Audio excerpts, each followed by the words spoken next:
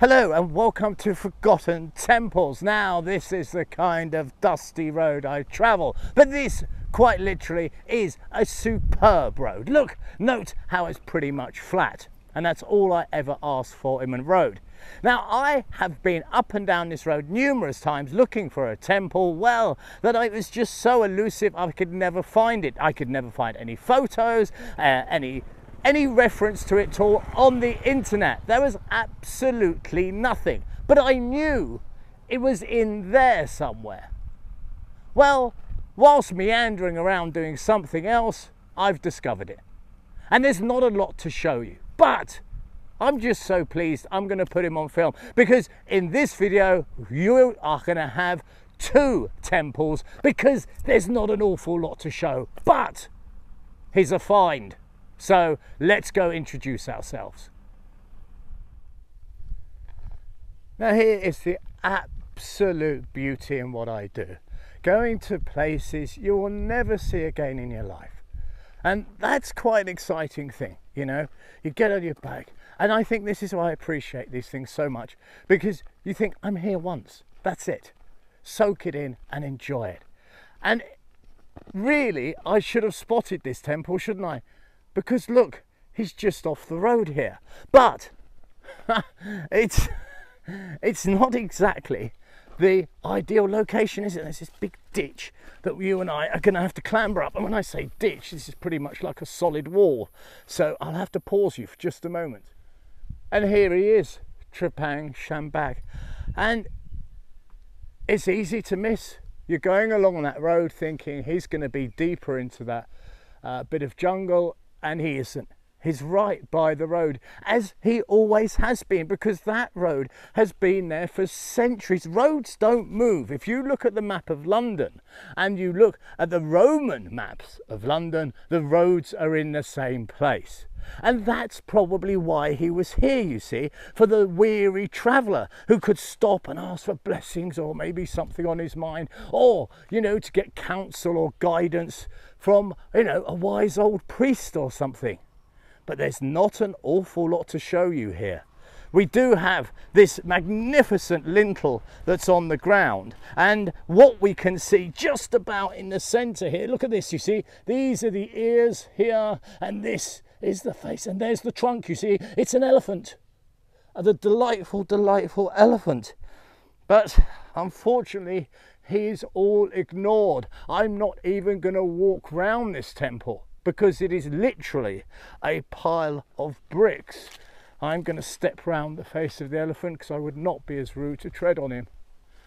And what we see is one of the pillars is still here. The other would be buried probably under here. And as we look in, we can see one thing. There's always something, isn't there? Every temple has something. And look, we can see some of the you know engineering that was done with these larger blocks to give it a nice strong base.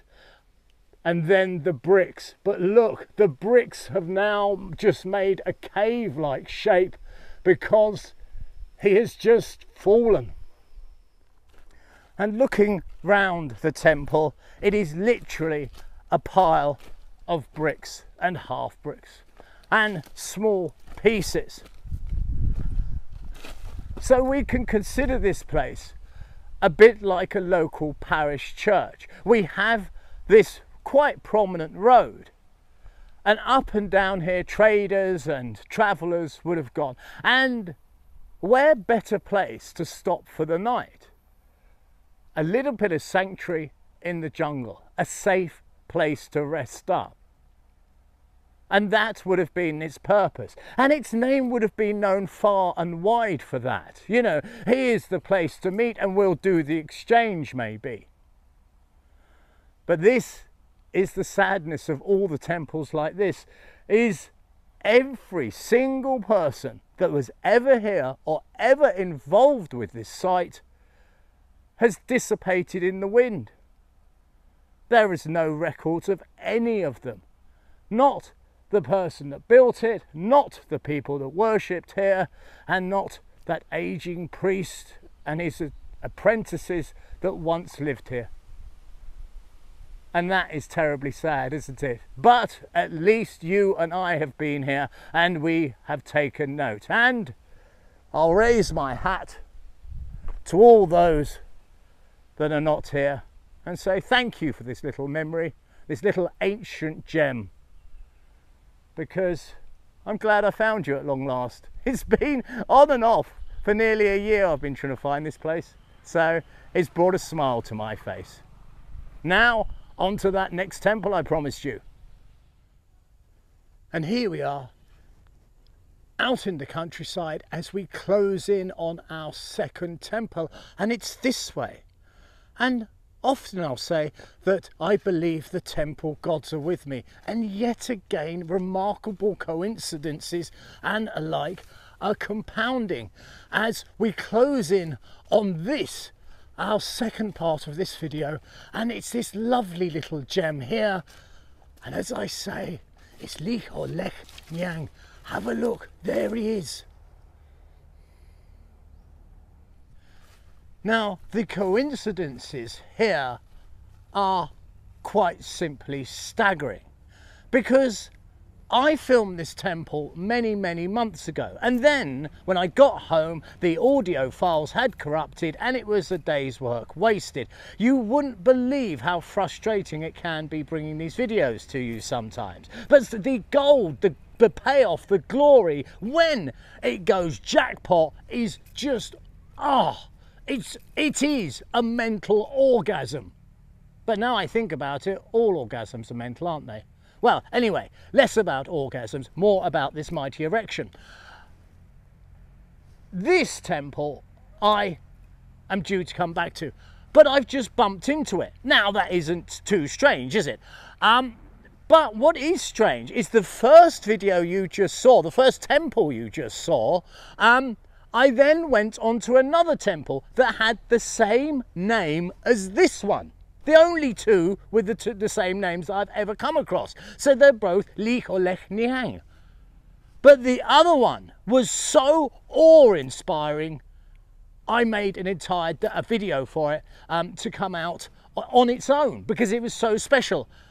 And then I go from one, get lost, bump into the next one, which has the identical name. And oddly, the very temple I wish to come back to. So yet again, the temple gods have guided me here. And there's not an awful lot to show you of this one, but let me show you who dwells here, because I believe just there is my favourite god. And he's quite the beauty, isn't he? Sitting atop of his little hill here. And there's really not a lot. We're just going to poke our head round the side here so you can get a bit of a view as to his condition and so on. Only a bit of his uh, spire has come off there, but he's looking pretty damn good. Now, I said we'd see a god, and so we shall, because I believe up here is for me the god of all gods, and he is my absolute favourite, because we see these three these three elephant heads, and atop there, I believe, just there. Can you see him right in the centre of your screen? Let me point to him if I can. There he is, right there. Um, that, I believe, is Indra, the god of thunder and lightning and storms. And he's quite the character, you know, because he got in all sorts of trouble with the other gods for drinking, you see, and cavorting with the ladies, you see. He was a bit of a bad boy in some ways. But he was a most resplendent god and he did look after people. So Mum, some may say he was a bit wayward, but to me he was just uh, a lad living his life.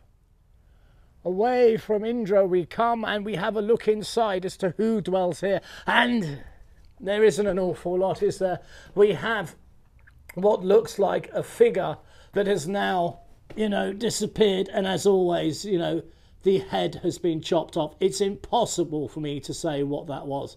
Um, it's, it's barely recognisable as a human, but you know, there would have been similar statues in other places. So we would be able to define as to what that once was. But what we can see is the temple is speaking to us. Yes, it is. Can you see it? I'll give you a moment Aha, you didn't get it, did you? It's over here, look. Have a look. There. Look at this ancient writing. And this obviously would be religious text or it would be praising a king or a high priest or someone like that. So there we are, words in ancient Sanskrit written all those centuries ago, now in an abandoned city. Isn't it incredible to think that? And I would estimate this temple to be about 10th century by the use of the bricks here and the way the doors have these lovely magnificent lintels and so on. They're not all masonry, they are predominantly brick. But I'm wandering this way to conclude this video down this little country lane because this is so often the wonderful payout that I get um, when I go hunting for temples. And right here is the guaranteed payoff even when there is failure in what I do. You see, the temple we've just seen is one where the audio files corrupted and I, it was in my diary to come back and film yet again. A day wasted. But weirdly, going to a temple with the identical name and then getting lost brought me to this temple. And weirdly, I also needed a temple that was not worthy, shall we say, of its full own video. And I just, it's coincidence after coincidence. And getting lost here is a privilege. Have a look at this backdrop. Isn't it absolutely incredible? I mean, this is what I travel through day after day, week and month after month, and soon I will hit one year of doing this as I start to close on my 225,000th mile. And that's quite a thing, isn't it? 25,000 miles through this, getting a twinge of jealousy? Well, don't. Get out there and have your own adventure. I always say that. So please, it doesn't have to be far. There's parks, there's woods, there's grassland. Go out there, introduce yourself to a wild animal or a wild person, but have an adventure. Please do. As always, this has been Mr. B, Forgotten Temples, wishing you absolutely nothing but the very best. You take good care now. Ah.